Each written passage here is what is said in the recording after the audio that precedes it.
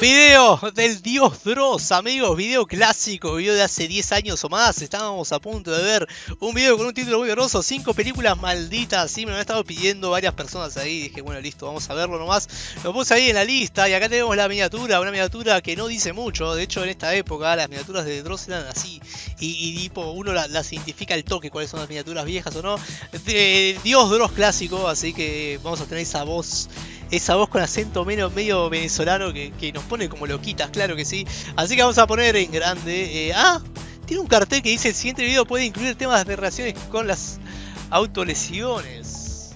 Qué loco, eh, qué loco, con auto quitarse la vida. Lo entiendo y quiero continuar loquita. En la industria. no, no, vea, escuchen esa voz. ¿Vieron lo que es esa voz? Lo que les digo, esa voz esa voz es única, boludo, ¿eh? Ah, vamos a sacar anotaciones y vamos a poner en grande y vamos para allá. Video de 15 minutos de hace más de 10 años. Video súper épico del dios Dross. Así que nada más que decir. Ponemos pleno más amigos, vamos para ahí. En la industria hay una serie de películas que se consideran malditas y que hasta el día de hoy son motivo de miedo y respeto en la cultura hollywoodense. ¿Cómo extraño esta voz hoy en día, chabón, eh? No es para menos. Las cosas horribles que le ocurrieron a los actores de los siguientes films que estás por ver en este video, llevada de la mano con eventos completamente improbables y sumamente perturbadores, han hecho leyenda en la poderosa industria del espectáculo. Abróchate pues el cinturón, porque estás por ver algo muy perturbador, que desafía y abusa de las leyes de las probabilidades. Estas son cinco películas malditas. Interesante, ¿eh?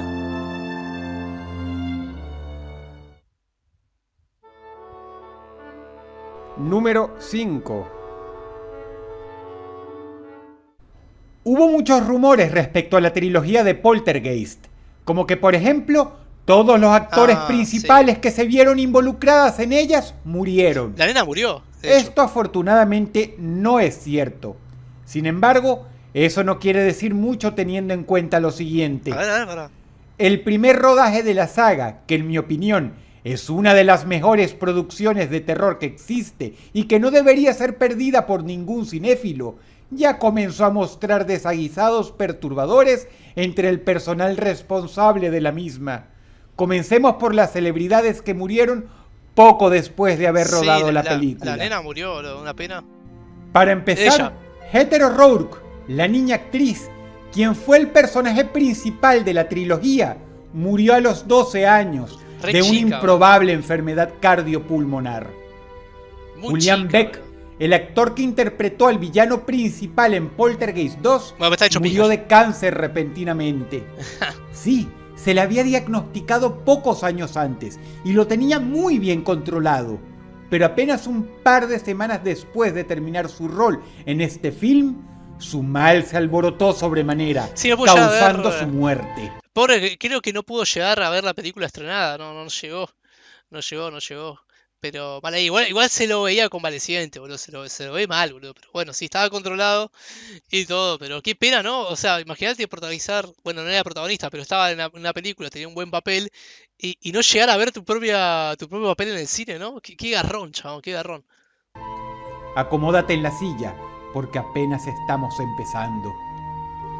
Will Sampson, otro actor fundamental que apareció en la segunda película, murió Ah, como la protagonista de una enfermedad del corazón.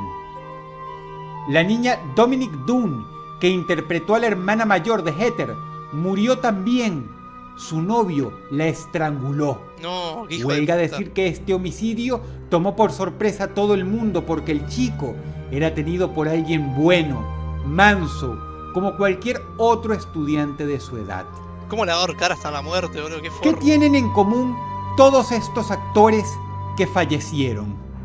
Simple, los últimos roles de sus carreras fueron en alguna película de Poltergeist. ¿Quieres saber algo más? Para el rodaje de este film se usaron huesos de humanos reales. Lo sabía. Porque salían más baratos que comprar huesos realistas de plástico. Cosa muy curiosa, visto y considerando que Poltergeist trata sobre unos espíritus que están furiosos precisamente porque desecraron sus tumbas. Jovet Williams, hermosa mujer. Ahora, ¿qué, qué jugado eso, boludo. Poner a los actores con huesos reales, chabón. Qué hijo de puta. Y creo que no le habían avisado, ¿no? De que eran huesos reales. ¿Qué tema, boludo? O sea, están encontrando como material cadavérico, es un tema. Igual lo calculo se habrán limpiado, no sé, boludo. Yo tengo entendido que estar en contacto con ese tipo de material cadavérico es muy peligroso, te puede transferir enfermedades y todo, boludo. O sea, eh, jugado para la, actriz que tuvo que estar ahí. Interpretó a la mamá de Heather en la saga, no murió. ¿Quieres saber qué le pone la cerecita al pastel? Ella fue la única persona que se quejó fuertemente por la utilización de huesos ah, reales en el film. Fue la única. Lo que por supuesto no evitaba que la mujer reportara que cada vez que llegaba a su casa después de rodar, encontraba todas las fotografías colgadas en la pared de su casa torcidas, mm. día tras día. Número 5. Raro lo que está contando ahí, ¿eh? Eso sí da miedo. Número 4.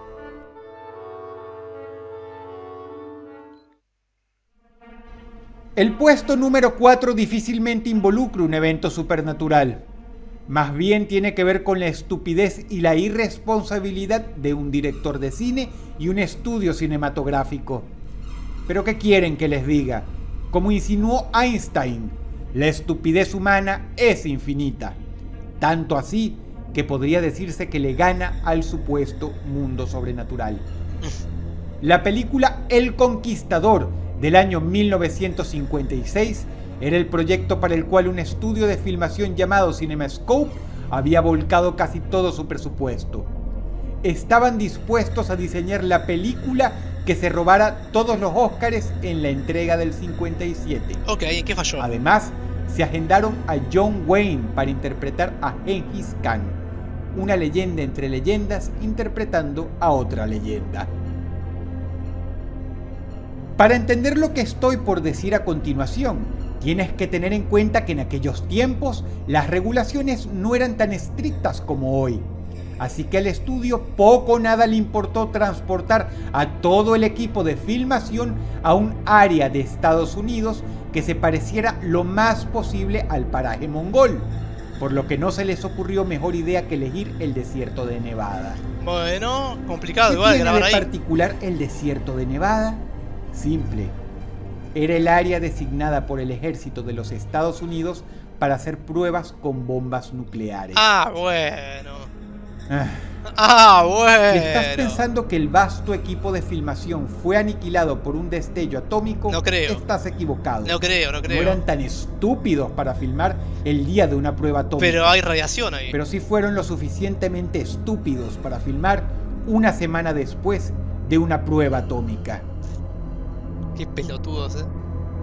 El resultado, el grande entre grandes, John Wayne, junto con 91 personas de todo el equipo de filmación, incluidos actores, extras, camarógrafos, personal de iluminación, de catering, etc., desarrollaron cáncer mortal. Y sí, John. Ahora entiendes por qué te digo que la idiotez humana es capaz de vencer el poder del Calculo que habrá habido consecuencias. No, en balde. Lo que motiva a un gran facepalm es a veces peor que el diablo. Número 4. No, no, dice, pero ah, seguramente han habido consecuencias eh, más allá de la muerte de los actores. O sea, a alguien tuvieron que haber metido preso, me parece. Quien tomó la decisión de hacer eso ahí y no informarse. O tal vez se informó, pero hay mucha gente que desconoce realmente el peligro. Y tal vez habrá dicho, nada, bueno, pasó una semana, una prueba, no pasa nada. Habrán dicho algo así a la verga, ¿no? O sea, hay muchas veces que, que puede ser ese tipo de cosas. También hablamos de una época donde había mucha ignorancia también en ciertas cosas, ¿viste? Pero brutal, boludo, brutal. No sabía nada de esto, ¿eh? Mirá que me vengo a enterar, boludo. O sea, loquísimo que haya pasado esto, ¿no? O sea, noventa y pico de personas murieron por cáncer. O sea, qué bronca ser un actor. Imagínate ser un ayudante nomás. Ser, ser uno ahí que, que estás buscando un futuro dentro del mundo del cine y sos ayudante. Sos este, no sé, boludo. Eh, un actor de doble de riesgo. O sea, y que te pase esto. O sea, qué, qué cagada que se te termine la vida así por decisiones de otros, ¿no?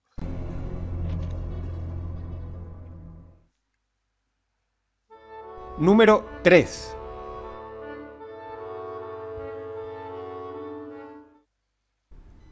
La película Atuk tuvo tantos desazones que de hecho es incorrecto llamar la película porque nunca fue tal. Se quedó en un proyecto por dos décadas. No pudo avanzar por causas de fuerza desconocida. Iba a ser una comedia sobre un esquimal que visita Nueva York. Es terrible, porque los productores realmente querían hacerla. El proyecto les encantaba, estaban enamorados, había pasado exitosamente por todas las etapas, ya tenía luz verde, pero no pudieron rodarla. ¿Por qué? Porque año tras año, todas y cada una de las personas que designaron para interpretar el papel principal de la película murieron. Qué raro. Empezando por la leyenda John Belushi, quien ya había firmado para dar vida al personaje. Sobredosis de droga, bueno, su propia decisión. Después de un tiempo respetuoso, decidieron darle el papel al actor Sam Kinison. Este aceptó de buen agrado, pero pocos días después Accidente de tránsito, bueno, eso es más dudoso. Los productores ya se estaban mosqueando, pero lo intentaron una tercera vez. A fin de cuentas, a la tercera va la vencida, ¿no? Luego de varios años de pausa, se agendaron al legendario John Candy para interpretar el papel. Ustedes se podrán imaginar la cara que pusieron estas personas cuando escucharon la noticia un mes antes de empezar el rodaje. Infarto cardíaco. Qué loco, ¿no? ¿Cómo te debes sentir, no? O sea, el actor que elegís, actor que muere. Elegís el actor, muere. Otro muere. Qué puntería, hermano, bro. Qué puntería para, para elegir gente que se va a morir dentro de poco, bro. O sea, y sin saberlo, ¿no? O sea, porque al siguiente auto, impredecible. Eh, de, bueno, ataque de corazón, eso puede ser si está controlado. Sobredosis y drogas, bueno, podés llegar a ver venir si sos eh, muy amigo de la persona y sabes en qué anda metido. Pero igual, boludo, o sea, esas son cosas que ocurre, ¿viste? Qué, loco, ¿no? ¿Cómo se habrán sentido los productores, hijo de puta? Persona que eligen, persona que muere. Muy loco. Después de todo esto, decidieron cancelar el proyecto y más nunca volver a hablar al respecto. Lo poco que se sabe de Atuk es por un productor que se animó a dar testimonio y varias estrellas de Hollywood que hasta hoy recuerdan lo ocurrido. Sin embargo, este no es el final de esta historia. Lo peor está por venir. Tiempo después, otro productor, no dispuesto a dejarse mangonear por lo que él consideraba una simple serie de coincidencias, compró los derechos del film. Logró hallar financiación con cierto esfuerzo y se agendó a un actor para interpretar el papel de Atuk, la legendaria estrella de Saturday Night Live, ah, Chris Farley. Sin embargo, dos meses después... Solo se droga Hubiera sido buen papel para él, ¿eh? el guion se cajoneó hace 16 años y más nunca se volvió a hablar de él. Fue a cuatro actores muertos. Número 2. Así, boludo, designados para hacer esa película, boludo. Creo que el bebé de Rosemary es una. Creo que número uno sé de qué mal hablar. Eh. Hasta ahora no ha nombrado a alguien que yo conozco así, haber visto videos de que no digo nada, no digo nada. Mejor veamos y, no quiero sacar la sorpresa. Seguramente va a hablar de, un caso muy particular que tiene que ver un helicóptero, pero no decimos nada. Película del director Roman Polanski que yo recomiendo encarecidamente. Es excelente. Uno de los mejores clásicos del horror que existen. No voy a spoilearte nada, pero tienes que verlo. Habla mucho la película. Cuando sepas de qué se trata, quizá explique la serie de acontecimientos tan horrorosos que afectaron la vida de varias personas que estuvieron involucradas en el rodaje. Para empezar, el productor William Castle sufrió una falla en los riñones cuando el film fue estrenado. Mientras lo trataban en el hospital, el hombre convulsionaba, delirando, diciendo haberse arrepentido de financiar la película. No termina ahí. El compositor del film el legendario Christoph Comeda murió de un coágulo en el cerebro, justo de la misma manera que muere, de hecho, uno de los principales personajes de la película. Sin embargo, lo peor de todo fue lo que le sucedió al mismo Roman Polanski, quien había comprado una hermosa residencia para su esposa embarazada, Sharon Tate. El problema es que Polanski compró esta residencia de un productor musical llamado Terry Melcher, quien había hecho enfurecer a un señorito de nombre Charles Manson al negarse a producir su música. ¿Qué hizo Charles? Simple, mandó a su secta a asesinar a todas las personas que vivían en la casa del productor. El problema es que la venta de la residencia ya se había concretado y los malvivientes terminaron matando a la mujer embarazada de Polanski. Número Sí, encima no solo la mataron, le sacaron el bebé, chabón, le colgaron las entrañas en toda la, en toda la casa. Eso hizo que es un crimen tan brutal. Es un crimen tan, tan zarpadamente brutal, ¿viste? Y qué lástima que no, no, no, no, tuvieron tiempo de tener un arma o algo así para defenderse. Ahora, qué cobarde hay que ser para matar a una, mujer embarazada, chabón. Eso es algo que habrá sido de pesadilla, boludo, estar ahí ese día. Lo que, lo que hicieron, boludo, no. O sea, increíble.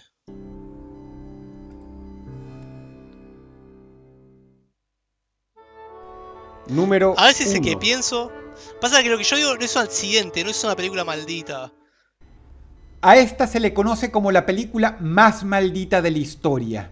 Los acontecimientos que sucedieron durante el rodaje de la misma no tienen paralelo. Es la leyenda más temida en el mundo del espectáculo. Pues exorcista. Te advierto que lo que vas a escuchar es simplemente perturbador.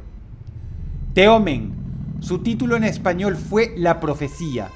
Ah, un film que yo recomiendo encarecidamente a todas las personas que quieren ver un thriller de suspenso y terror de Son tres películas, ¿no? Sin embargo, antes quiero que sepas lo siguiente. El avión particular del guionista del proyecto, David Seltzer, fue golpeado por un relámpago. No es algo tan raro, pero pasa y resulta que durante los tiempos del rodaje, un relámpago también golpeó el avión particular del productor de la película, Mace Neufeld, y también el del avión particular de la estrella de la misma, Gregory Peck. Mucha coincidencia. Afortunadamente, esto más que causar víctimas fatales, fueron algo así como advertencias. Para bien o para mal, el trío hizo caso omiso a esta coincidencia, por lo que siguieron con el proyecto. Pocos días después, el productor Mace Neufeld invitó a las estrellas principales y muchos miembros del equipo del rodaje al hotel donde él se estaba hospedando para brindarles un almuerzo. Durante la comida, el hotel fue impactado por una bomba del grupo IRA. Afortunadamente nadie murió. Pero el susto que se llevaron fue de muerte. Terrible hueco. Algunos fueron internados en el hospital. Lo que empezó después fue francamente horrible. Recuerda que todo esto que te estoy contando sucedió durante el rodaje de la película. El encargado de efectos especiales, John Richardson, sufrió un accidente de tránsito el día viernes 13 del mes de agosto del año 1976. Su asistente, que lo acompañaba en ese momento, murió de una manera atroz con la garganta rebanada por una pieza de metal. Cuando John se deslizó fuera del auto, malherido, y cojeó hacia el pavimento para llorar por auxilio, se percató que la calle donde sucedió el siniestro se llamaba Omen, con dos M, en el kilómetro 66. En el kilómetro 66. Oh, raro. Poco después, uno de los extras de la película murió. El hijo de Gregory Peck se suicidó de un tiro en la cabeza días después. En una etapa, la casa productora alquiló un avión para usarlo en el rodaje. El día antes, el aparato fue utilizado para un último vuelo comercial. En este vuelo, la nave se estrelló, matando a todas las personas a bordo. Hubo más sucesos relacionados con esta producción, pero creo que ya te haces la idea.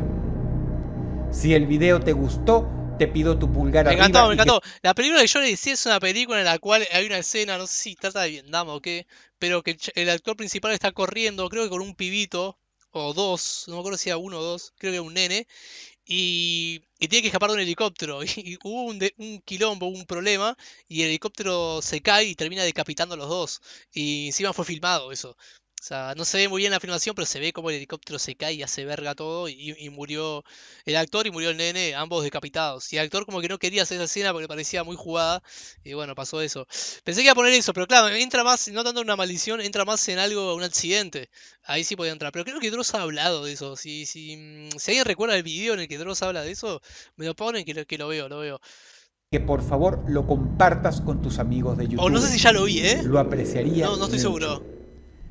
Te habla Dross y te deseo buenas noches. Buenas noches, Dios Dross. Muy, muy buenas noches. Video muy épico que querían que vea. Che, me estaban como loquitas, ¿eh? Me estaban ahí spameando el video lo loco. Pero acá lo traje, amigos, acá lo traje. Le podemos hacer like, obviamente que sí. Y vamos a ver. Sin embargo, hay muchas que nunca debieron salir, dice. Eh, me estoy haciendo un maratón de videos de viejos de Dross como este. Y todos tienen comentarios recientes. Es como si los videos de Dross no los dejen de ver nunca. sí, es cierto, no los dejan de ver nunca. En el país está lloviendo fuertemente. En el momento que Dross dijo buenas noches, se fue la luz y cayó un rayo. A la verga, bro, que pasa eso. Bueno, amigos, acá lo trajimos. Cinco películas malditas. Video épico del Dios Dross, clásico, con esa voz que me pone como loquita. Esa voz me excita, amigos. A mí, me, pone, me pone cachondo esa voz del Dios Dross.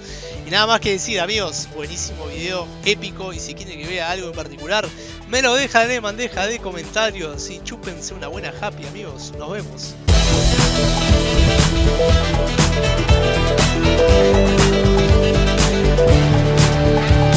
We'll be right back.